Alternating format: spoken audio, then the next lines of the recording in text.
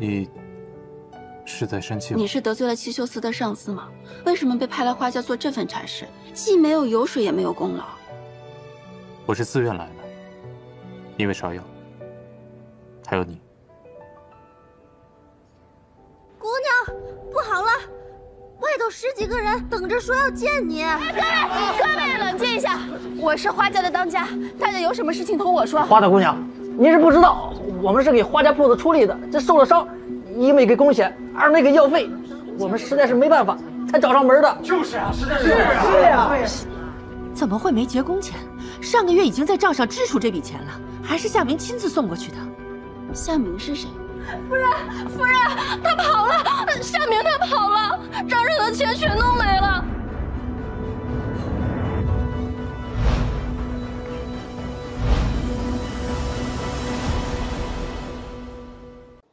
周家咒你起兵谋反的事情，官家知道吗？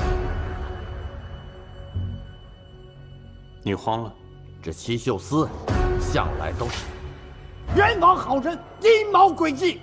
我可是你父亲。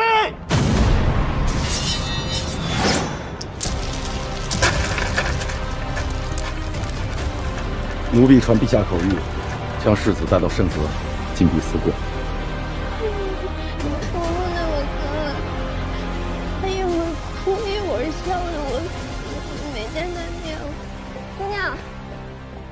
大姑奶奶又来了，还把宋家男人也带来了。侄儿你在正好，上回我来呀，是想抬你房里福东那丫头进门做姨娘的，不过是一个丫头，你就不怕败了我们花家的名声？我们花家如今啊，还有什么名声啊？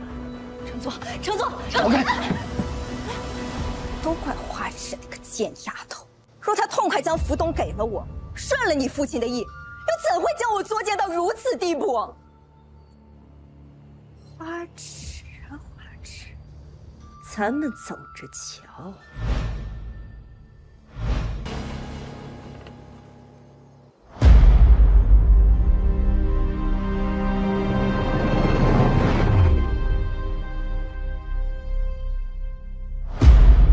芍药，你说你哥哥是个什么样的人？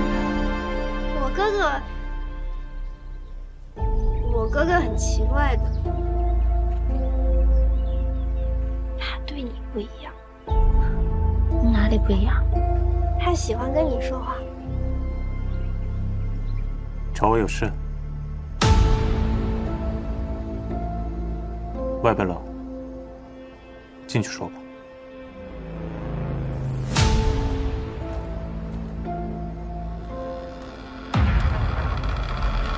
你不该跟我进来。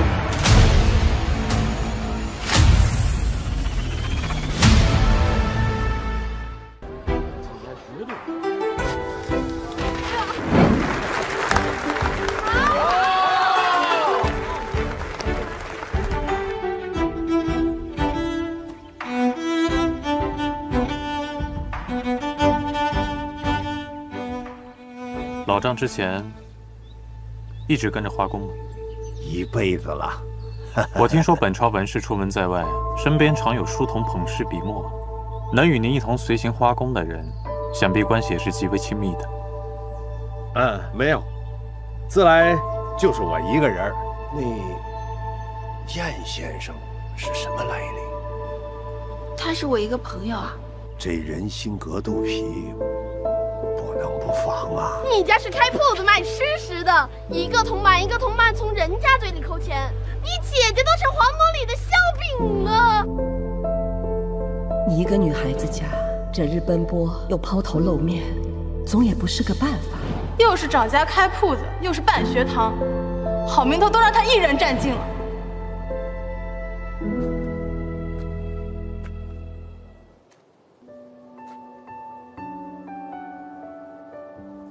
我就来坐一会儿。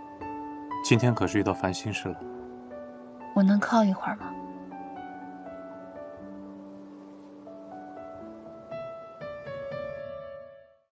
头儿，太后身边那个韦嬷嬷今日出宫，与花家的书信往来，这次可以抓个现行了。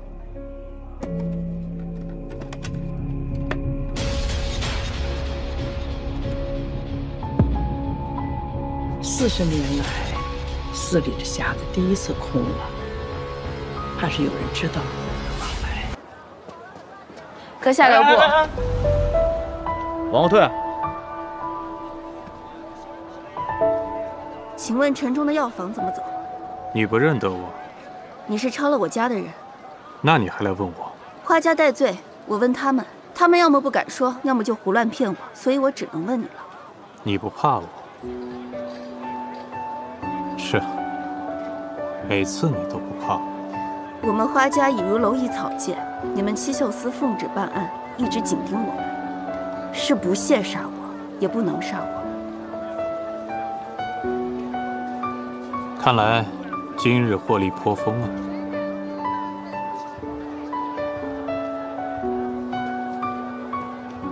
哎，你看啊，那条巷子左拐，看见石狮子就是了。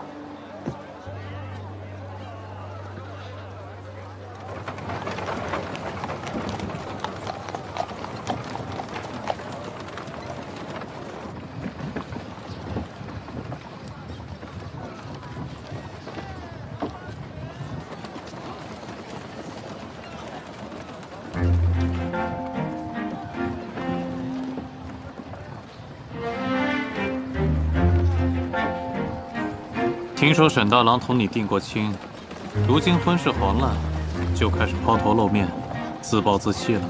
若抛头露面便是自暴自弃，那你整日遮着脸避着人，连天光也不见，那你岂不是天下第一贤淑首领？方才还看到沈大郎来买你的桃符，真是对苦命鸳鸯啊，挺叫人唏嘘的。我与沈家早无瓜葛，沈大郎买了，满城的人也买了，难道都与花家有关系吗？这么着急撇清关系干嘛？想护着他？你恨我吗？于私，你我素不相识。于公，你和我祖父同为朝臣，阁下识君之路，花家成君之怒，只是不知来日这雷霆之怒会不会落在你头上。这桃符什么意思？你不识字啊？只认得一半。什么叫只认得一半？上半句我认得，是宋延清的佳句。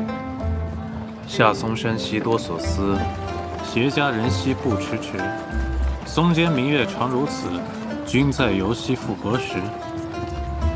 如此情景被你下半句一衬，风雅全无了。眼下既无明月，也无佳人，四是你的马车是坏了吗？行得如此迟。